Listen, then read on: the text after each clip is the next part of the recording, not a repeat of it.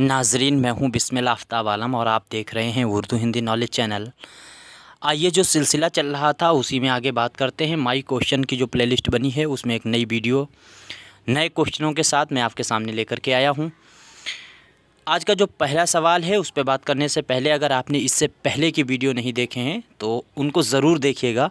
अगर आप किसी भी उर्दू एग्ज़ाम की तैयारी कर रहे हैं तो माई क्वेश्चन की प्लेलिस्ट ज़रूर देखिएगा। और अगर यू पी का सिर्फ़ एग्ज़ाम आपको देना है तो आप प्रैक्टिस सेट जो मैंने कराए हैं, उनको देख सकते हैं, उनका सिलसिला भी आगे चलता रहेगा।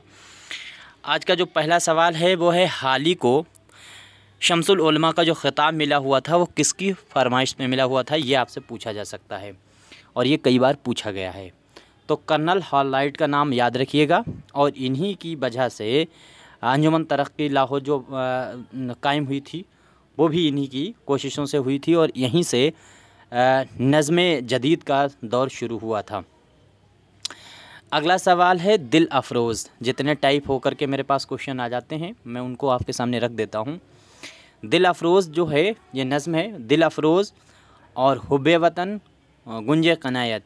ये तीनों जो तसानीफ़ हैं, किसकी हैं? तो आपको याद रहना चाहिए। ये हैं मौलाना अल्ताफ़ हुसैन वो मौलाना मोहम्मद हुसैन आज़ाद। इनका नाम आपको याद रखना है। दिल अफरोज़ है हुब वतन है और गुंज कनायत है। ख़ास तौर से गुंज कनायत पे गौर कीजिएगा इससे सवाल बन चुके हैं और कई बार इसको पूछा जा चुका है। इसके बाद में उर्दू का बर्नार्ड शाह किसे कहा जाता है? आ, ये आसान है आ, सवाल लेकिन फिर भी जब ऑप्शन दिए जाते हैं तो कंफ्यूज हो जाते हैं, जैसे हुमर किसे कहा जाता है जॉनसन किसे कहा जाता है तो ये सारे नाम जो इनको ख़िताब मिले हुए थे वो आपको याद होने चाहिए और इससे पहले की इन ख़िताब पर मैं वीडियो भी आपके सामने पेश कर चुका हूँ, वो नहीं देखी तो जाके देखिए, उसमें सारे शोरा को जो ख़िताब मिले हुए हैं उन पर बात हुई है। तो ये ख़िताब जो है याद रखिए वर्नाट शाह जो है, वो कहा जाता है मौलाना अल्ताफ़ हुसैन हाली को। अगला सवाल है सुबह की उम्मीद। देखिए, सुबह उम्मीद नहीं है, गौर कीजिएगा। सुबह उम्मीद अगर आता है तो मोहम्मद हुसैन आज़ाद का नाम याद रखिएगा। सुबह की उम्मीद, नज़म है, याद रखिए। गर्मी का मौसम, ये याद रखिएगा। और पंचक्की। सिर्फ़ चक्की नामा आता है तो आपका आंसर क्या होगा? चक्की नामा उर्दू की पहली नज़म मानी जाती है, बंदा नवाज़ गेसुदराज की। और पंचक्की अगर नज़म पूछा जाता है तो ये इस्माइल मेरठी की है। गर्मी का मौसम और सुबह की उम्मीद। ये भी इस्माइल मेरठी की है याद रखिएगा सुबह की उम्मीद में सिर्फ़ सुबह उम्मीद हो तो आप इस्माइल मेरठी को नहीं लगाएँगे।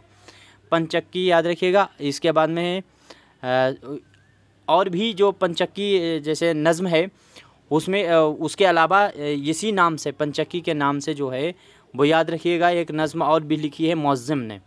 तो उसको भी गौर कीजिएगा। हालाँकि पूछा नहीं गया है कभी उसको। आ, इसके बाद अगला सवाल है सुबह वतन। तो सुबह वतन जो है वो किसकी कुलियात का नाम है? आ, बहुत पूछा जा सकता है तिरपन इसमें नज़में शामिल हैं शायद। तो इस कुलियात ये किसकी कुलियात का नाम है? तो ये याद रखिएगा आपको ब्रज नारायण चकबस्त आप फैज़ाबाद में पैदा हुए हैं याद रखिएगा जो है रायबरेली में इनका इंतकाल हुआ है। वकालत इनका पेशा था।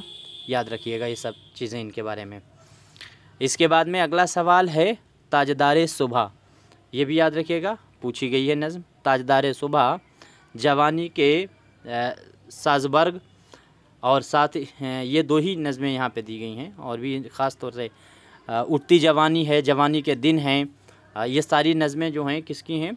तो जोश मलियावादी की हैं, ये आपको याद रखना है।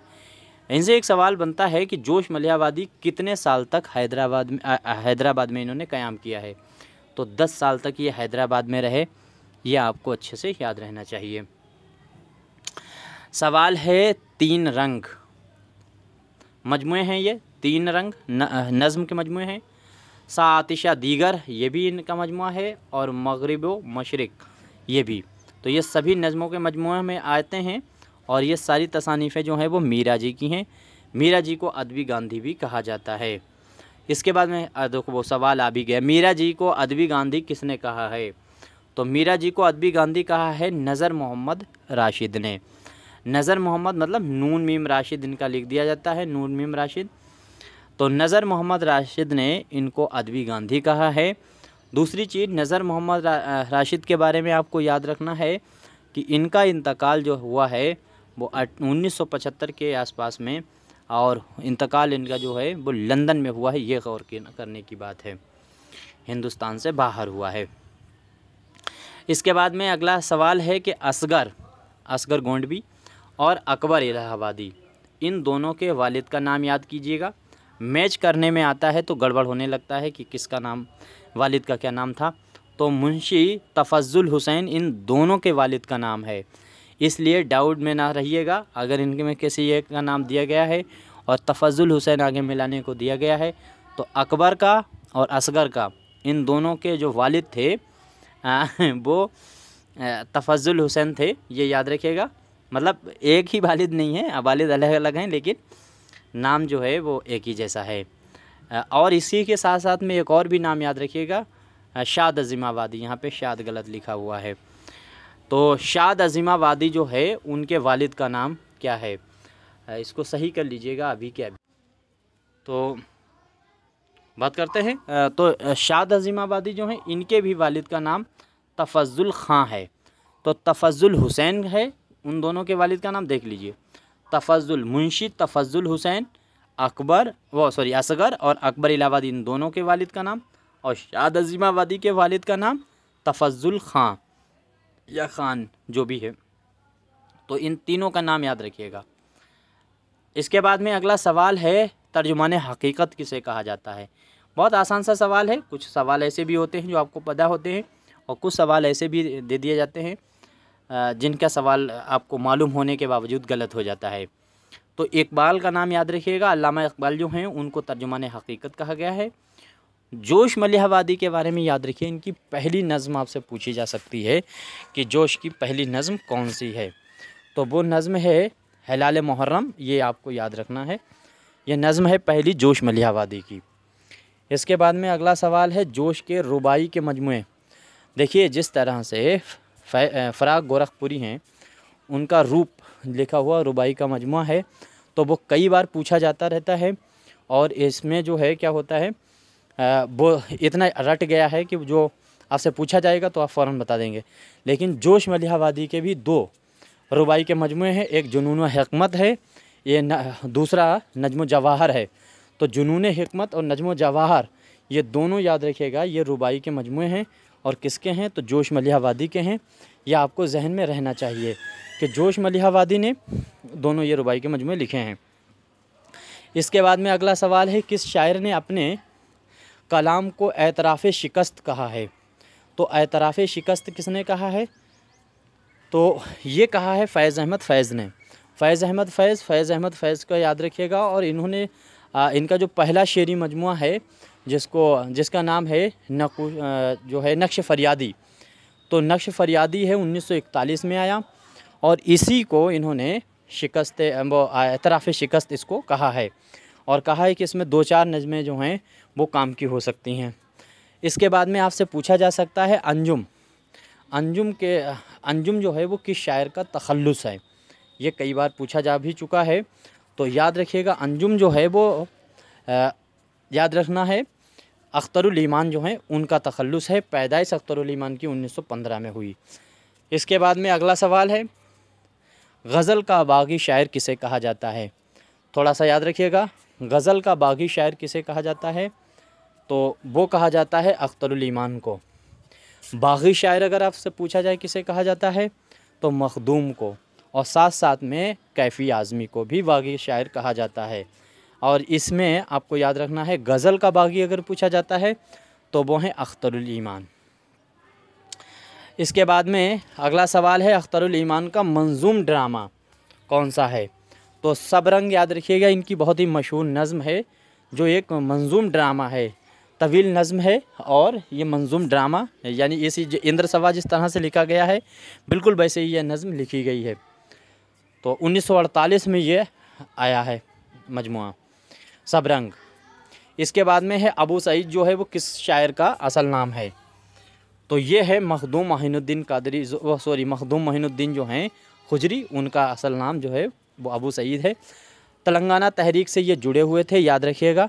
और कम्युनिस्ट पार्टी से ये इन्होंने इलेक्शन भी लड़ा था।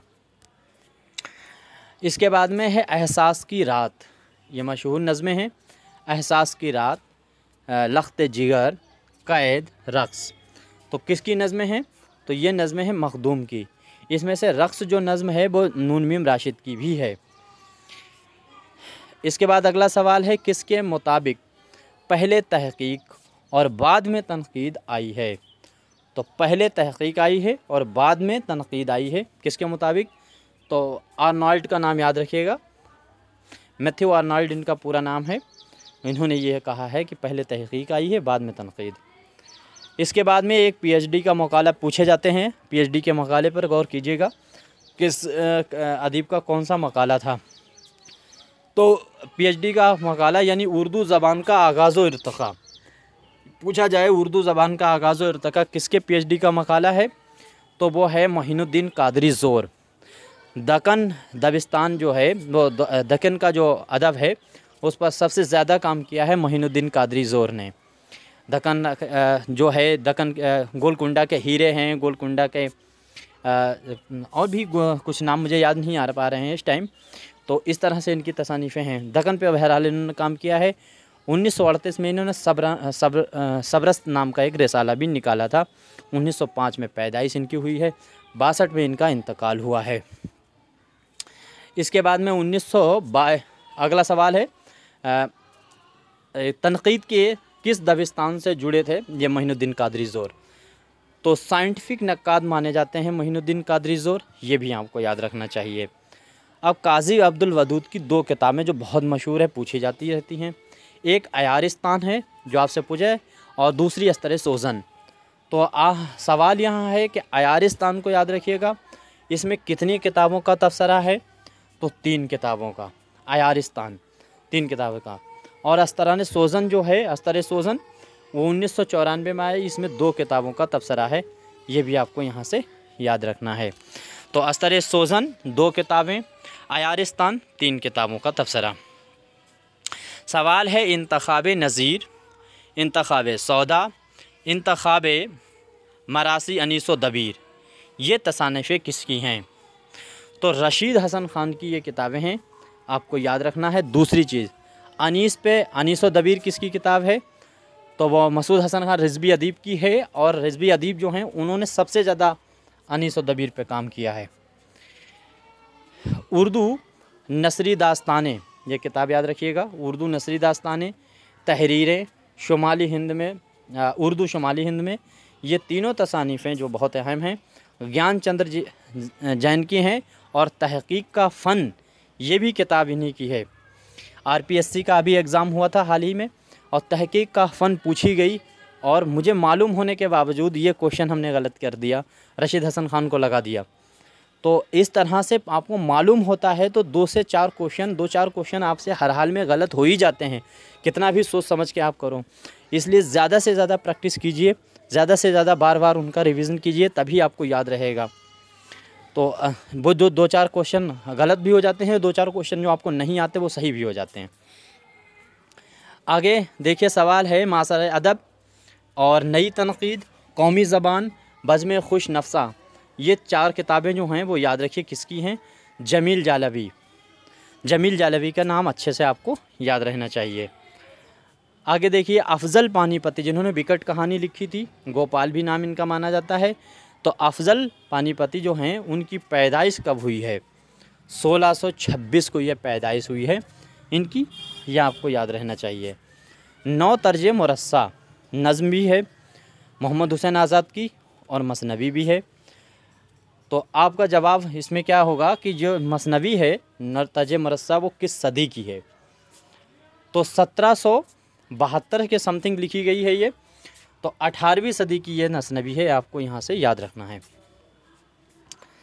इसके बाद में अगल, अगला सवाल है फसाना आज़ाद। फसाना आज़ाद किस बार किस अखबार में शाया हुआ था?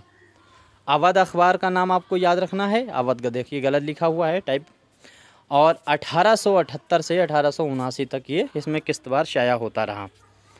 अगला सवाल है सवाल है शब्द चीन किसकी तसनीफ़ है? तो यह है मिर्ज़ा गालिब की। आसान सा सवाल है।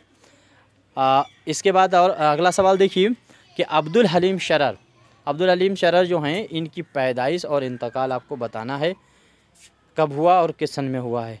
तो अब्दुल हलीम शरर जो हैं इनकी पैदाइश हुई है 1860 को लखनऊ में, इंतकाल 1925 को लखनऊ में।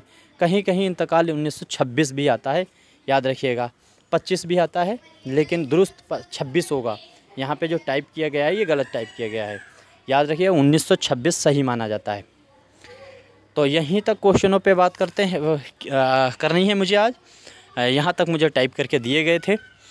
इनमें जो भी गलती हुई हो तो उसको ज़रूर बताइएगा, मैं आपका बेहद शुक्रगुज़ार रहूँगा। साथ ही साथ में कोई मशवरा है तो आप दे सकते हैं। शुक्रिया।